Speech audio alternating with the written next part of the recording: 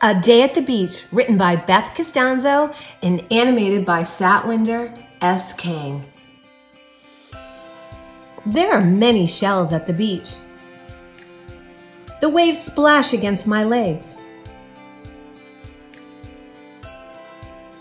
A hermit crab scampers by. Let's make a sandcastle. A seagull spies a minnow for lunch. Surf's up, hold on tight. Don't get pinched by that crab. Look, I found a starfish. I see a lighthouse in the distance.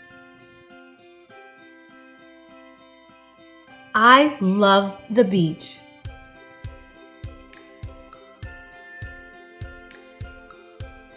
Subscribe to my YouTube page for more fun videos.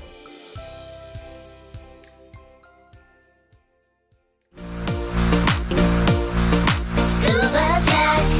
Come on, everybody, and follow me. From the beach to the cove or in the sea. It's time for learning, it's time for fun. It's a great adventure for everyone. Come on, everybody, and follow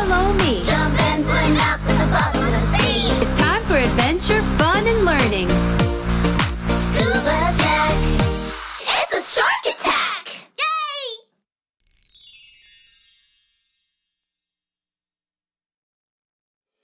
Hey everybody, it's Miss Beth from the Adventures of Scuba Jack. Please comment below and give us a thumbs up if you liked our video with Activity Book. See you soon.